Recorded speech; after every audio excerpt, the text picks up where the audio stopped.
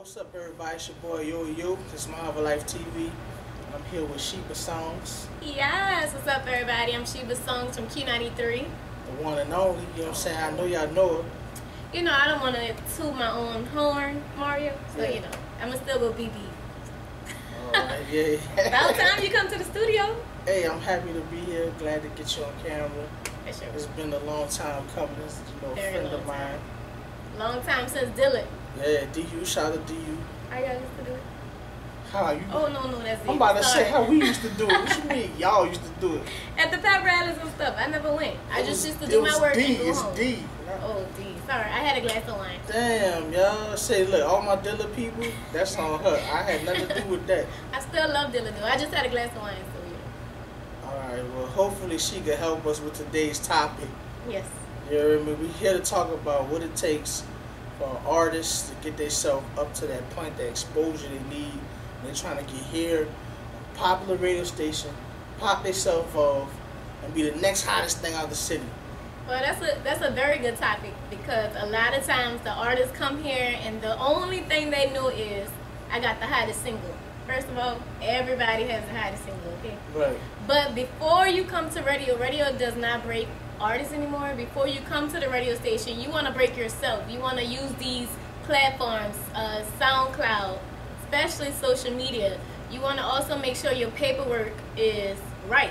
Everything is copyrighted. You have an ISRC code, which is another thing that artists does not do not know. don't know what you're talking about. Yeah. An ISRC code is basically a code that you retrieve once you put your uh, music on all these platforms, and it Right. help it helps keep count of the streaming numbers.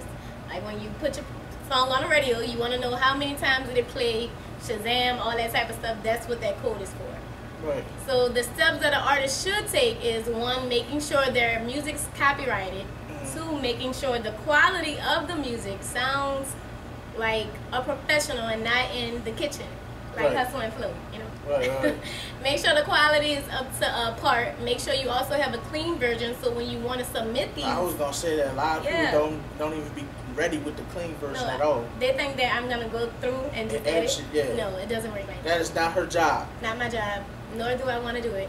So make sure the producer give you a clean version as well because it's professional. Pro- professionalism. You wanna you want your music to hit the airwaves, and then you also want to take um, take advantage of these platforms. You have social media now where that's free. R. Kelly can see your music. You can go viral. Um, you also have SoundCloud. You also have YouTube, to where you can make money once you start like streaming big numbers. It's called monetize. You want to make sure you monetize your uh, original work. If you get a song where you have to use uh, what they call like if I use Aretha Franklin in the background, Sample. if you use a sample, you want to make sure it's clear because Right. then you don't want to get sued, and you can't put it on the uh, airwaves not clear. So let's for a second talk about that as far as building the social media, the internet, how popular that is Mhm. for artists. I've been trying to preach to people, like earlier on my Instagram, I spoke about it. An artist like Six Nine, when he um, attached himself to DJ Akademiks, basically, he knew that hey, okay, DJ Akademiks got the platform as far as the internet. I attach to this, I make, I can blow myself up. So I be telling artists all the time, people like myself and other bloggers, people who are on YouTube constantly, who has that type of presence on Twitter and all that, you gotta be able to build a relationship with, with Yeah. those people as well. So tell them how important it is to have a team behind you that understands you need to build relationships with people like myself, yourself, other people in the music industry or, or people that can break them into the industry. Mhm. That it ain't gonna just happen like just walk up. You know what I'm saying? Yeah, that's So true. talk a little bit about how the importance of uh, an artist having a team behind them that, that knows what it takes. Okay, like Mario said, it's very important to have a team. I mean, of course, you can do only so much by yourself, but you have to also network because in this industry, it's all about who you know. It's all about it's all about building relationships. You don't have that relationship nine times out of ten, people are gonna walk past you Right. until you have that name, until you have that following. So if the resources are there, you want to attach yourself to the blog, the magazine, the radio station uh, personalities, the Christy Coleman's, you know, people that can actually help you build your platform. Even these DJs. A lot of times, you, the DJ don't know your music, and that's your problem because they're out here at bar culture. Keith, uh, Key, I to say Key Sweat, Key Scott.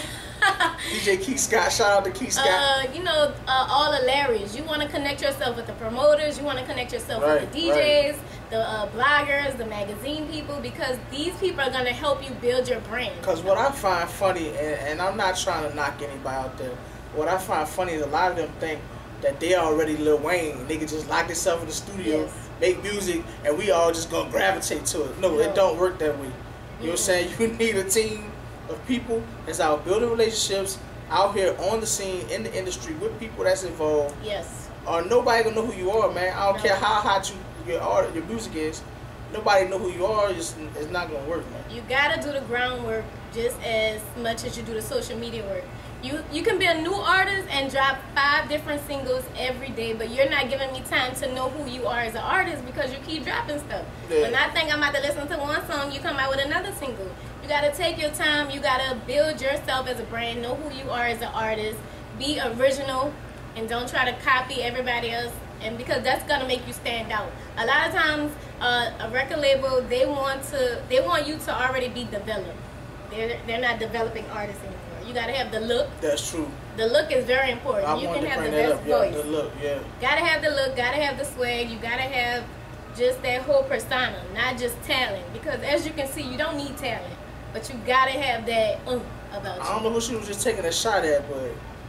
you don't need talent. I, I'm just saying, we gonna leave that one alone. Listen to today's y'all music, put in the tell. comments what you think that was about.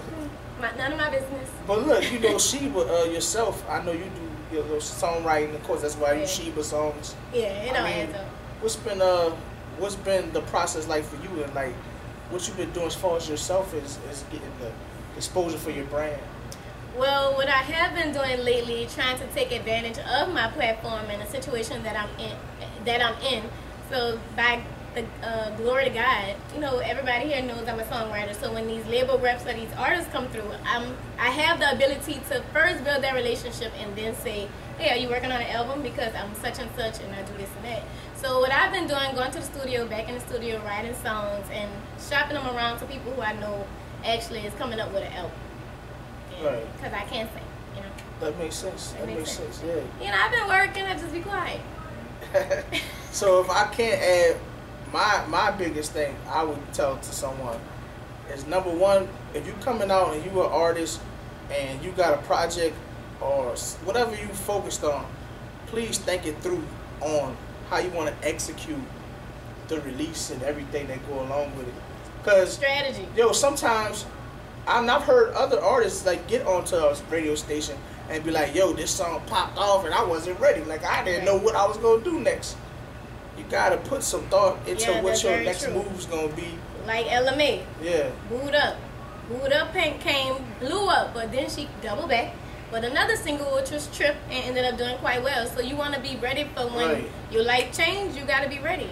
You got to always have new material, but take your time with it, strategize, and understand that things do not happen overnight. It can, but Boo'd Up had been out for like three years before it Yeah, it really actually yeah. did something. So never give up, keep the faith, but also come up with a plan, come up with a game plan, and attack it. Don't be all over the place. Know who you are as an artist. Uh, of course, study other artists to see how they did it, but all, always stay true to yourself, if that makes sense. That makes total sense. And that right there is great advice from Sheba Songz. Yes. I'm thankful.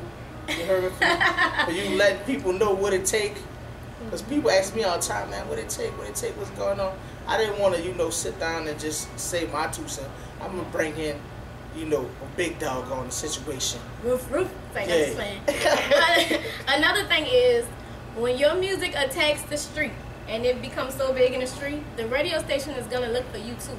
So you definitely don't want to feel like you need radio. You don't need radio, but you you want that radio. You want radio when you already kind of established the streets, because the streets is gonna stand behind you. Radio is when everything is established, basically. Then the labels come in, and if you want to stay independent and everything become commercial, that's when radio kick in.